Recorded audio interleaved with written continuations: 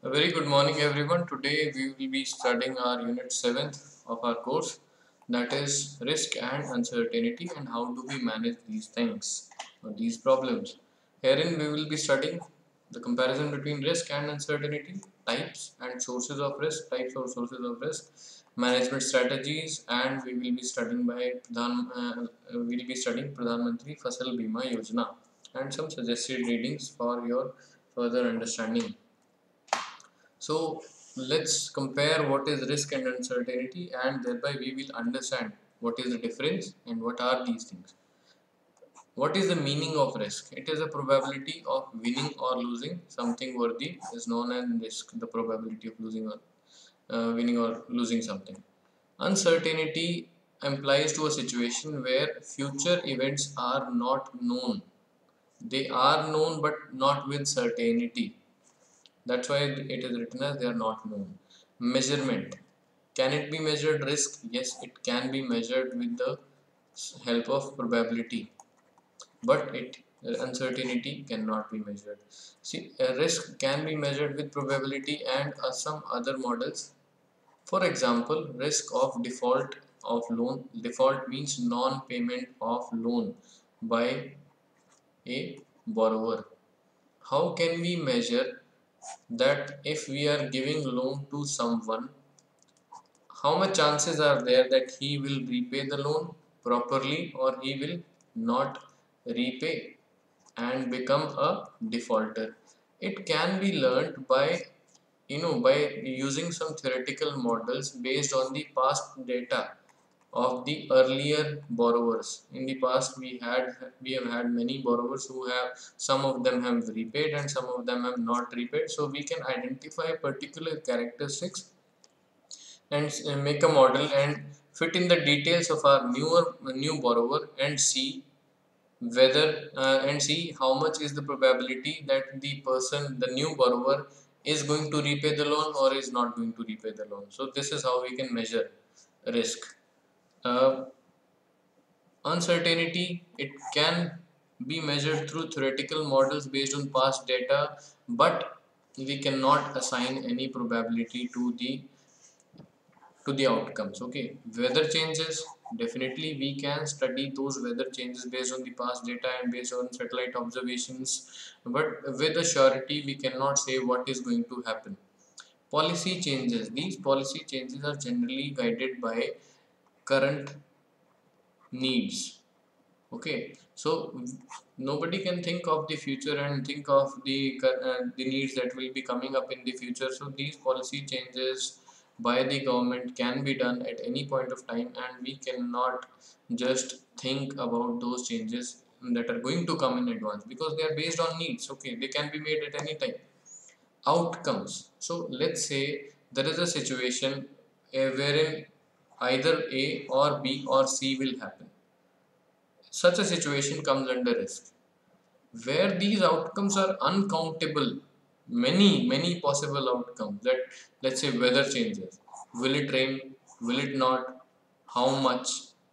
So there are many combinations in, in this area, how much it will rain, rain in that area, whether there will be hailstorm, how much of hailstorm will be there, at what time will it come? So there is a lot of uncertainty. The number of outcomes possible are uncountable or innumerable.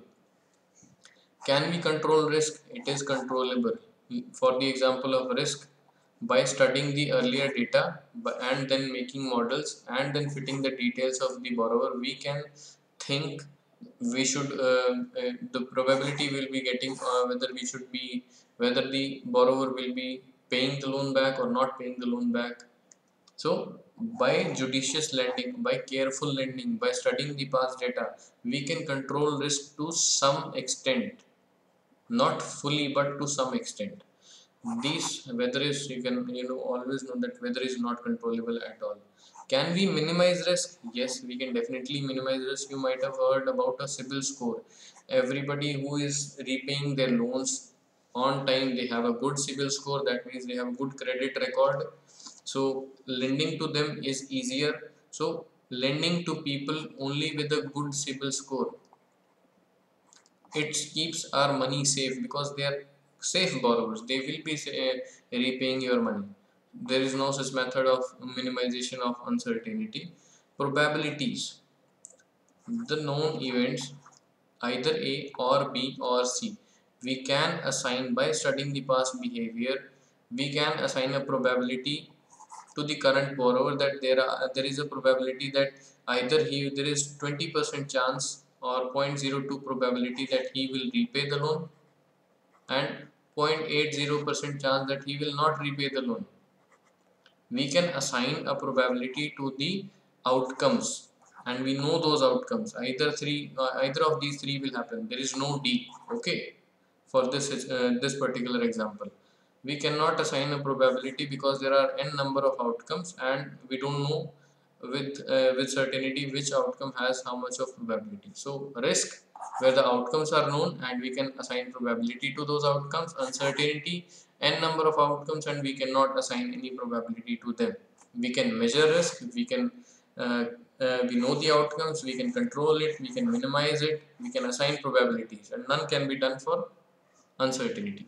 Let's now study what are the types and sources of risk, types or sources of risk. Production risk. First one is production risk.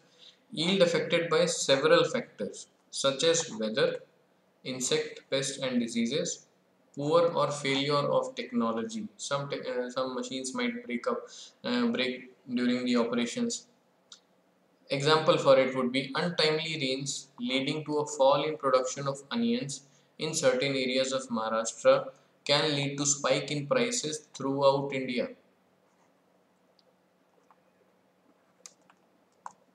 Okay. Price or marketing risk. Due to lag, there is always a lag because we decide what we are going to produce today based on the prices that were there in the last year for that crop. Okay. Let's say carrot uh, in nearby areas of Hisar, the price uh, if the prices this year of carrot were high, so uh, last year the prices were high, so this year the area under carrot generally becomes high because everyone wants to take advantage of prices. As the area increases because of last year high prices, the production increases, supply increases, demand for carrot is stable, so the prices go down. Alright, there is a fluctuation from year to year and season to season. Second point here is EXIM policy. Uh, there is a price and marketing risk. Let's say a farmer, farmer A, harvested and sold out his, uh, sold his rapeseed and mustard at 5000 per quintal just after harvesting and but the other farmer waited because he had the capacity to store his mustard and right now the prices of uh, mustard has increased up to 7000 per quintal because our government has imposed a import duty on palm oil from Malaysia I think.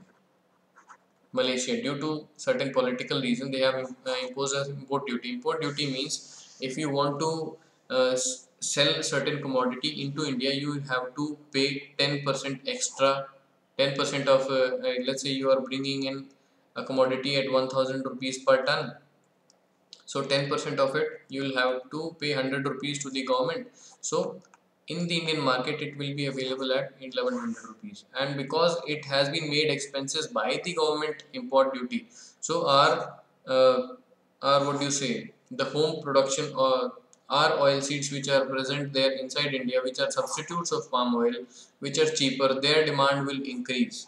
Okay? If their demand increases their supply is same so their prices naturally increase and it is happening all because of import duty. Because the palm oil coming out from outside is expensive we cannot import it and rapeseed and mustard even after increasing the prices is far cheaper okay than this. Just don't these prices are for the sake of example, but these are the real ones. Financial risk. Changes in rate of interest by banks on savings as well as on lendings. As that means on loans.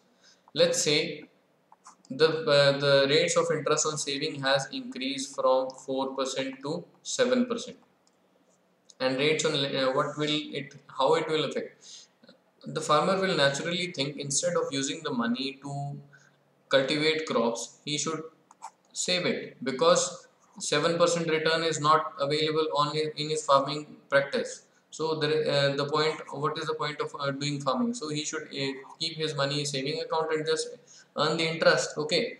Give his land on lease 25000 rupees per acre uh, because of lease and rest of the money which would have been used for buying inputs could have been saved and they could have earned 7 rupees 7% interest. But cultivating crops might have given him 6% interest. So there is a financial risk. Let's say the lending percentage has uh, the percentage rate of interest has reduced on lending. He might have taken a loan in march at 7% rate of interest. But in april or in may the rate of interest was reduced to 5% so there is a uh, there is certain uncertainty. If there is uncertainty on part of the government or the banks regarding the rates of interest on savings and loans it affects the farmers directly okay?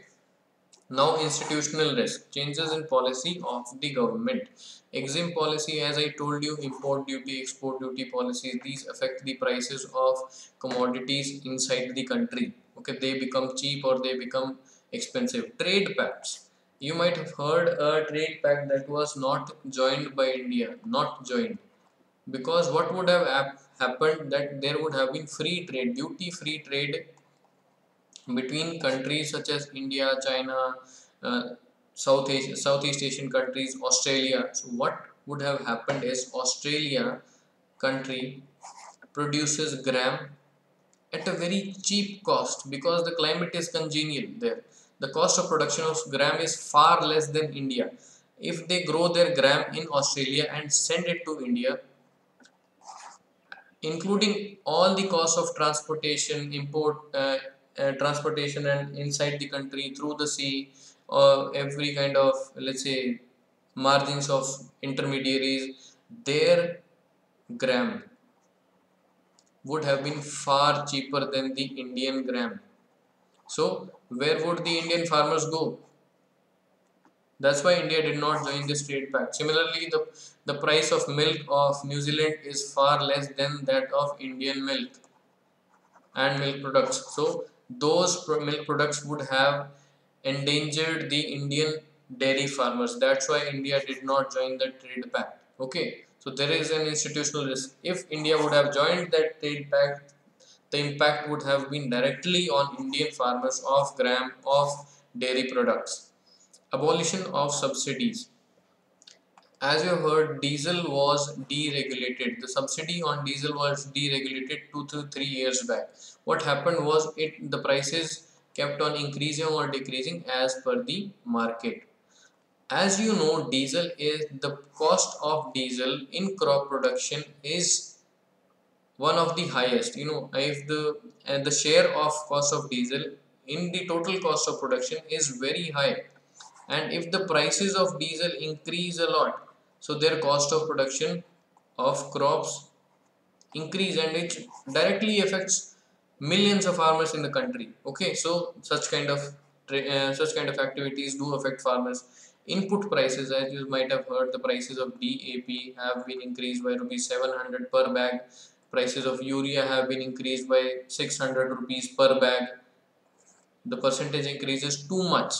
So these kind of policies create a lot of risk and there is hell lot of uncertainty because of these institutional problems. That is uh, that are problems that are created or solved by the governments. Risk management strategy. How do we manage all these kind of risks first one is diversification Diversification means multiple enterprises should be followed, mixed farming, mixed cropping, different types of crops. We should be going for crop production, rearing different types of livestock at once. So that what happens is it reduces your income variability. Let's say you are suffering losses in crop production, your crop has failed, but livestock products did give you some money. So your family kept running. Okay one lean year can ruin a farmer opting for a specialized farming. Example, sugarcane and a disease came and everything vanished. Zero income. So, this is the point of diversification. Flexibility. what happens here is we should be growing short duration crops like vegetables, pulses, cereals if possible. Okay. dual purpose animals should be kept such as sheep so that whenever market conditions are unfavorable there are price variations. The let's say the meat prices of sheep are not high so you can sell it for its you can use its wool okay? Farmer can change the next crop. If the prices are unfavorable for the coming crop let's say he was supposed to grow cereals in the coming rabi season but the prices are uh, prices are forecasted that they will be dipping down because of government policies or some or due to large production so we can shift to pulses okay? And we can sell the animal for meat if the prices of wool were down or vice versa. Agronomic practices such as zero tillage, which reduces the requirement of money, which reduces the requirement for irrigation and many other things, uh, fertilizers, crop rotation, mulching, deep tillage, IPM, INM, these kind of practices do reduce the risk of crop losses. Reduces the risk of crop losses, reduces cost of production. Understood? All these practices reduce variability in production levels. Market risk management selling products at different points of time by storing them, by processing them in different forms, by freezing them, and by hedging. We will not discuss this technique because it is a little typical for you people. Uh, we will be discussing in some other time. It's not that typical, but if the prices prices generally just after harvest, just after harvest are low. So if we wait for some times, the prices generally increase. If we can wait, we can store our produce there are definitely storage losses but even after accounting for those storage losses generally the prices increase and your revenue increases but because our farmers are marginal they need money immediately for different purposes they sell immediately after harvesting which is called as distress sale. A farmer if he has the capacity to process his produce if he is growing tomato and the prices of tomato is very less he can get uh, ketchup made out of his tomato okay and sell it later on by packaging. But these things are can be done only by big farmers. You can freeze your pea green peas if the prices are very down uh, very low and can sell later uh, sell them later on. Government price policies. Msp is for saving the farmers for from the slump in prices because generally the equilibrium prices of crops are very less. So msp facility was given so that farmers get minimum this money okay this was the at least amount. That at least the farmer should get this much amount of money for his crop. But as you know in large parts of India or you can say 94% of grain crops that is here in grain crops wheat paddy gram these crops are sold in open markets open markets where the prices are divided decided by demand and supply and the prices are far lower than the MSP far far lower. So you can see if the prices are if the prices in the open markets in the country are far lesser than the MSP so should we be following the method of selling our things in the open market? What can be done or what should be done? Or should the MSP be made a floor price. That means at least whoever wants to purchase these crops they should be paying at least MSP because MSP is generally cost of production plus a little bit amount of money little bit money. This is what it means. Okay let's say msp for wheat is 1975 and the cost of production might be 1600 per quintal okay so how much did the farmer save per quintal? He saved only 375 rupees. Actual cost might be a lot more or a lot less but generally there is not much of gap. If he's saying this much rupee only for per quintal his income is not a lot okay? Because the size of farmers in the country is the maximum 81% of farmers have land less than 2 uh, land less than 2 hectares okay no marginal farmer the land less than 1 hectare that is 2.5 acres. So you can imagine the level of income of the country. So these policies decide a lot about the future of the farming country okay? Because india is predominantly a farming country. Government policies such as procurement price msp plus or minus something is always a procurement price. Generally these are the same. Procurement prices are announced just before uh, the harvesting just before harvesting msp announced before sowing. These are announced before harvesting. Stable exim policies. Wait a second please. Stable exim policies are also very important. Government should not be changing their decisions regarding export import duties joining trade pacts deregulating uh, diesel and increasing the prices of inputs you know frequently. They should be stable over the years. Financial risk management. At the government level government should ensure stable and lending or saving policies. The interest rate on lending rate uh, lending rate and saving rate should not change should not fluctuate very much. At farmer level we should be you know we should be working towards uh, building the solvency of the farmer. Solvency means ability of the business to meet long term money requirements long term ability of the farmer to pay his debts and liquidity. Liquidity means he should be having cash income. He should be following those enterprises where he has cash in his pocket all the time whenever he needs for emergencies. Insurance. This is the latest product uh, of among the risk management strategies. It is a technique of transferring risk where we pay some money farmer pays some money and asks some other person to insure his crop. Okay? What is in it for it for the insurer? Because the number of people who are paying a little bit of amount of money are many and the payouts the number of farmer claiming the uh, that they had losses and even after paying for their losses he has a lot of left a uh, lot of money left. This is how he earns. Farmer pays someone else to assume the risk of loss of production on his farm to bear the risk. Assume means bear the risk of loss of production on his farm. If farmer loses his production, this guy needs to pay the farmer back because he has paid his insurance premium. Insurance company spreads the risk over a large number of farms in order to absorb the risk of loss of farmers. Because these farmers who are getting insured, they come from throughout India. So some farmers in India might not uh, might not experience any losses. Some experience some losses. So the insurance amount collected was generally is more than the insurance amount paid out.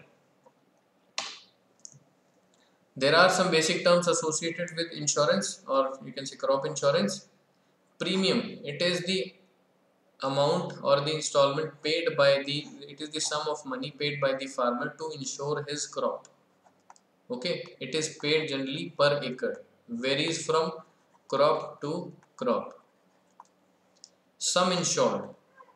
In return of this premium paid, insurer will assure that he will pay the farmer an amount in case of full crop loss. Let's say he the farmer paid 2500 rupees per acre for wheat okay and he had a full crop loss his complete crop was gone he was given 35000 rupees by the insurance per acre so this is his sum insured in case of full crop loss, how much money the farmer is going to get, that is called a sum insured.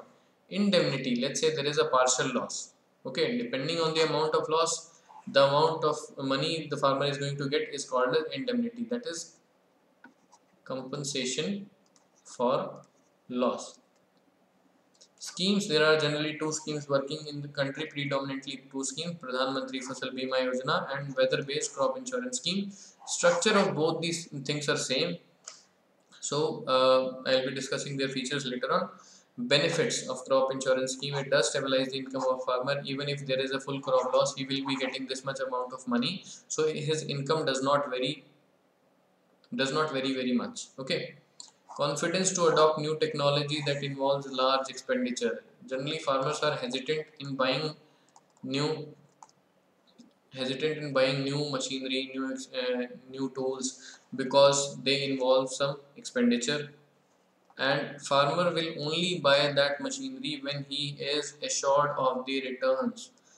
What the crop insurance does is he will get these returns even if his crop fails. Okay that's why it improves the adoption of new technologies it reduces the government dependency of loan waivers and relief packages. It is supposed to give in case the farmers are not insured.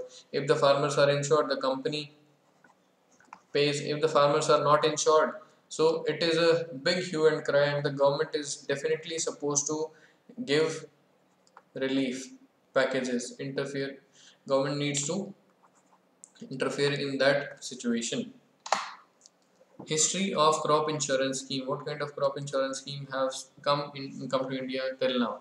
First individual uh, individual approach scheme pilot crop insurance scheme comprehensive crop insurance scheme modified uh, national agri NAIS in Rabi 2010 modified NAIS came in. In 2007-8 weather-based crop insurance scheme which is running till now. 2009-10 coconut palm insurance scheme. All these schemes have come up to this. Pradhan Mantri Fasal Bima Yojana. They have been incorporated now. Okay but this is separate. Which losses are covered under Pradhan Mantri Fasal Bima Yojana? Standing crop losses in notified area basis. You know crops uh, which are insured crops 1 2 3 4 5 these crops are insured for the kharif season of haryana.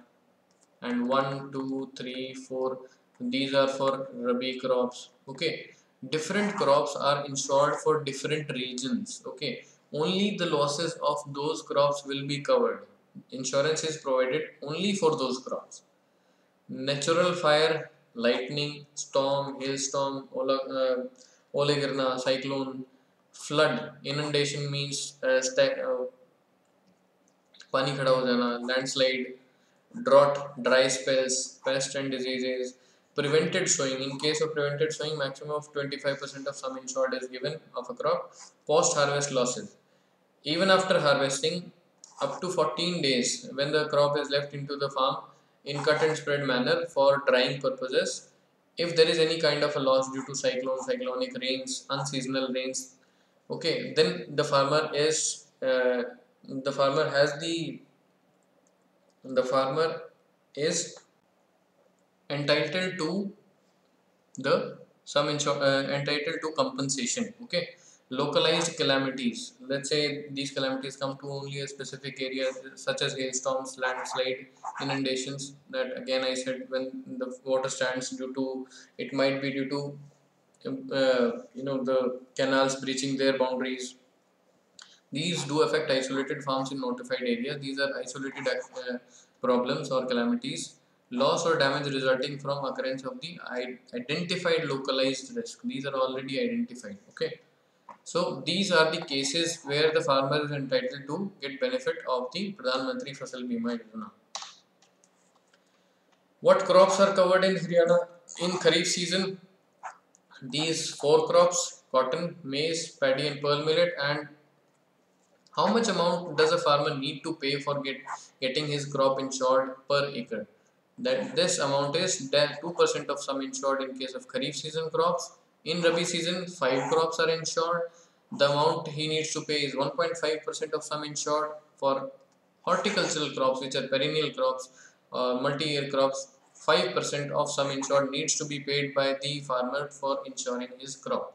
So, what are the what is what are the related terms? Okay, what is threshold yield? What is the average yield according to which a loss is calculated? average yield or threshold yield is sum of the yields of last 7 years last 7 years wherein we will reduce we will reduce the value of those two years where there was any kind of calamity where the average yield was less throughout the state and again we will let's say the average yield was taken 1 2 3 4 5 figures and divided by 5 so this came out to be the threshold yield or average yield. Okay? According to which your losses will be calculated. Sum insured. Sum insured will be msp 1975 into let's say threshold yield for haryana is 20 quintals. So sum insured will be calculated in this manner. 1975 into 20 you can calculate yourself. It comes around to be 39000 rupees per acre. Okay this is the maximum amount of money you will be getting in case of 100% crop loss. Shortfall in yield. What is the shortfall in yield? Threshold yield that is the average of the last five years minus the actual. This will be the shortfall in yield. Let's say there was a problem there was a hailstorm in your area in your village and the shortfall in yield came out to be how uh, it came out to be let's say 3 quintals okay? The uh, threshold yield was 20 quintals and the actual yield was 17 quintals. So the shortfall was 3 quintals. How much money is supposed to be paid to the whole village now? Everybody on an average lost 3 quintals of wheat in this season. Shortfall is 3 divided by 20 into sum insured is 39000 so this much of money needs to be paid per acre. Money to be paid in case of loss to a farm need to be paid per acre to the farmers in the village. All right now let's take a look at the latest data. See uh, this is the latest data. This is today's article. This is the premium to be paid. This is the premium to be paid by the farmers. And this is the sum insured kharif season there are four crops. In rabi season there are five crops. Premium to be paid for all these crops is mentioned here. And the sum insured value that is compensation in case of 100% loss. In case of wheat it is just 27300 rupees okay? Uh, this premium is actually very less. The total premium is paid by some of it is paid by the farmer some of it is paid by the government of India and some of it is paid by the government of our state. Okay? This scheme is it is written here yojana kisanon ke liye swaichhik hai. This scheme is entirely voluntary. If somebody wants some some loanee farmer who has taken a loan and he does not want to insure his crop he needs to withdraw his name by giving in writing before 24th July. Okay? To the banks. If they do not do so they will be uh, the premium amount will be deducted from their savings account or from their loan account and they will be considered a part of the Pradhan Mantri Fasal Bima Yojana. If somebody who is a non-loanee farmer, they can also apply till 31st July and get benefit of this insurance scheme. So let's move back to the uh, slides. So this is all about our unit and I'll be meeting you in the next one. These are the links given which have been used to calculate collect data from different sources for making this slide. I'll be giving these links in the description of the video being uploaded on YouTube. So we'll be in meeting in the next unit that is unit 8. So thank you very much for your time.